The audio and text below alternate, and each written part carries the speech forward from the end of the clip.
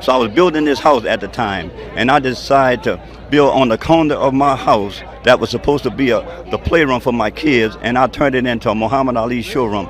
His name of it is Ali Muhammad Ali's Corner.